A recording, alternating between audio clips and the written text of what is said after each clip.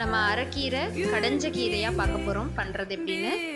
First ஒரு மண் பாத்திரத்தில் கொஞ்சம் தண்ணி ஊற்றி அதில் கொஞ்சமாக சுண்ணாம்பு போட்டுட்டு அதுக்கப்புறமா அது நல்லா லைட்டாக கொதிச்சதுக்கப்புறமா அதில் இந்த அரைக்கீரையை போட்டு நல்லா கொதிக்க விடணும்.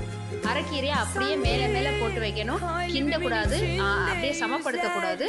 அப்படியே அது பாட்டுக்கு தன்னாக்கில் கொதிக்கணும்.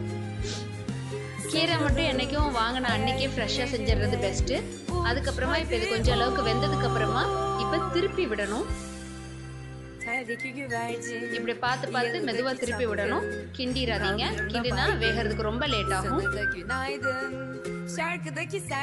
ஃப்ரிட்ஜில் வச்சு செஞ்சு செஞ்சு அடுத்த நாள் செய்ய போகிற இருந்தால் வேகிறதுக்கு கொஞ்சம் லேட் ஆகும் அதனால் அதை கவனமாக பார்த்துக்கோங்க அது அதுக்கடுத்து அது நல்லா வெந்ததுக்கு அப்புறமா தண்ணி எல்லாம் கொஞ்சம் ஓரளவுக்கு நல்லா இருத்துட்டு கல்லுப்பு போடுங்க Şarkıdaki serçe Camdaki teyze நாலு பல்லு பூண்டை வந்து. நச்சு எடுத்து வச்சுக்கோங்க.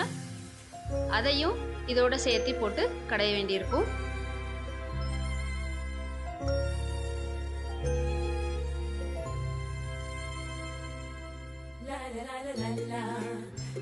நல்லா கடையணும். மிக்சியில் போட்டு கடைஞ்சா ஈஸியாக பண்ணிடலாம் பட் டேஸ்ட் அந்த அளவுக்கு வராது.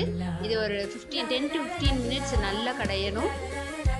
கடைஞ்சதுக்கப்புறம் அது ஒரு தனி பேனில் வந்து எண்ணெயை விட்டு நல்லெண்ணெய் விடுறேன். அதுக்கப்புறம் கடுகு உளுந்தம்பருப்பு அதுக்கப்புறமா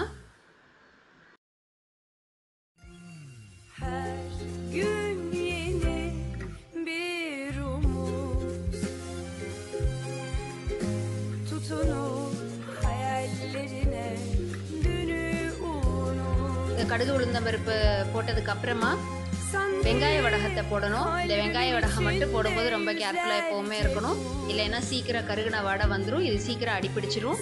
அதனால பார்த்து மிக்ஸ் அடுப்பை ஆஃப் பண்ணிட்டு கூட கொஞ்சம் கிளறுனா கூட அது சீக்கிரம் நல்லா வதங்கிரும்.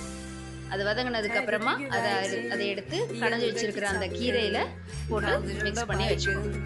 Sana da günaydın Şarkıdaki serçe Aradaki teyze uykusuz aşık sana da günaydın. Arakire, karanca kire, güvercin, yalıdaki çapkın.